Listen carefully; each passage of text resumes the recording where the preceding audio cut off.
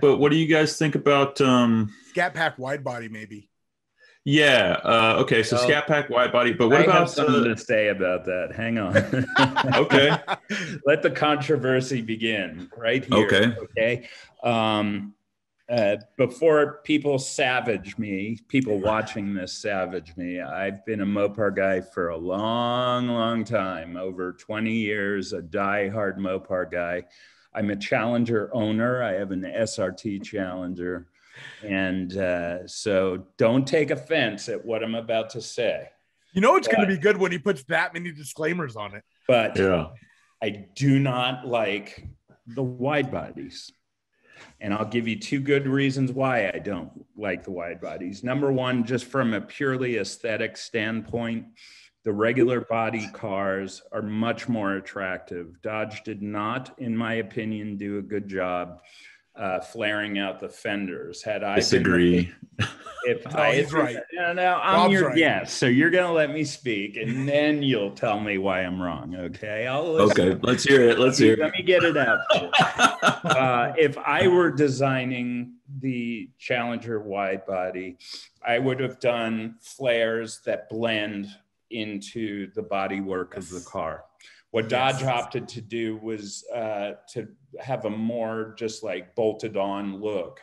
And to me, that bolted on look is exactly what aftermarket wide body kit builders were doing before there was such a thing as a wide body challenger. And it looks very boy racer to me. It looks stuck on, it looks kind of cheap to me. Okay. Have I not been saying that, Vinny?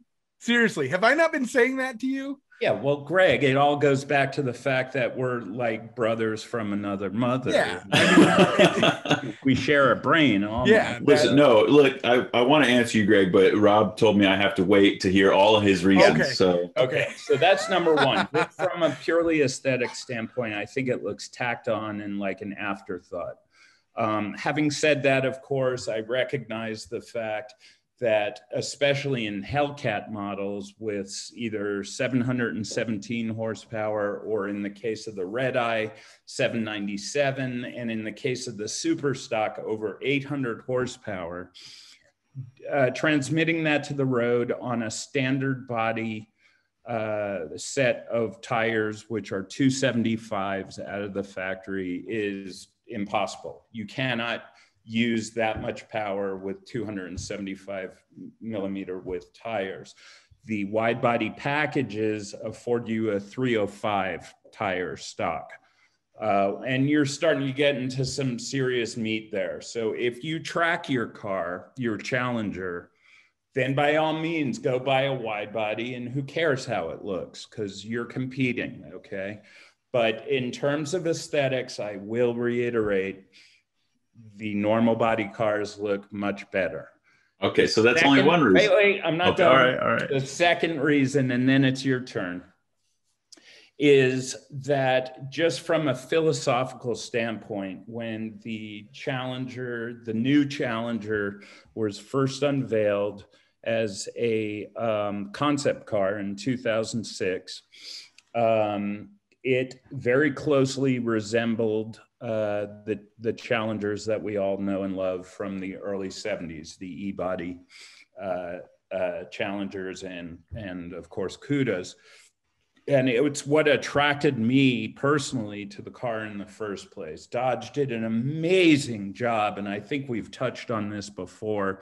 Out of the big three American muscle cars, the Camaro, uh, Mustang, and Challenger, Dodge, in terms of styling, really of the three, hit it out of the park. They've they've managed to uh, not significantly change the looks or proportions of the car uh, since 2008 when it was first released, or 2006 for that matter, when the concept car was just shown.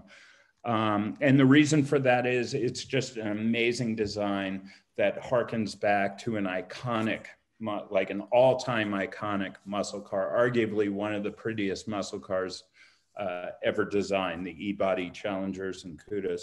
And for me, because of that, putting wide body a wide body kit on that car destroys that retro cred like the whole point of the Challenger was it was a retro design. Uh, uh, for Greg, like the retro design of the Mustang released in uh, what was it, 04, 05, Greg? 05. yeah. 05. Uh, you know, that was a period of time where retro was really in. Um, and and Dodge just nailed it. And I think you slap a wide body kit on an, an amazing design and you sort of dilute Mhm. the retroness that made it popular. I End of scene. Yep. Now, Okay. Vinny. Well, th- you've made my work very easy, Rob. I'm, I'm just gonna say this. I'm, I'll- I, I will stamp my name to everything Rob just said. okay. Well, I'm just, I'm just I- saying. Just I can easily counter both of those points because it, I like the car. Uh, it's like for the exact opposite reason that you stated. Um, the the design was getting stale. They had to do something, um, and uh, you know How they couldn't. It was. I mean, 13 years almost, right? Like it's been around for a while. It's it's and they've made millions of them and they sell like hotcakes. People love the car. So hmm. they had to do something to update the look of the car without totally redesigning the car. So, you know, to your point, yeah, it cost them it, it probably to you looks cheap because it was cheap for them to do it, right? I mean, how hard was it to just bolt those those fender flares on? Yeah, and Okay. it started. We should mention at this point that the first wide body Challenger was the Demon, and Right. it, was it was really by necessity because they were putting 840 ponies with race gas into the Demon, and with anything less than 300 series tires, you you just spin out. And that's the- and that's the exact other reason why I love it, right? Because it's Performance. performance oriented. Um, they did it out of necessity. Uh, who doesn't want a wider tire on their car, right? Whether you're at the drag strip or um, at the racetrack. Um, I mean, it's it just makes well, sense, right?